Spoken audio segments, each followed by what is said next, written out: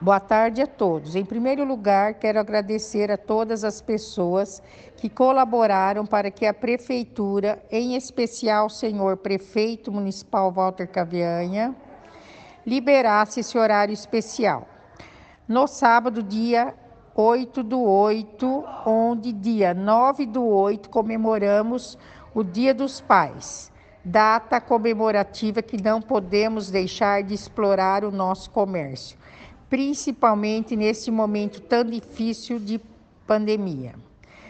Não há necessidade de virem às lojas somente na parte da manhã. Aproveitem a parte da tarde também para não haver tumulto, visto o horário de funcionamento extenso das 8 às 18. Não esqueçam das máscaras e procedimentos necessários. Uma boa semana a todos. Obrigada.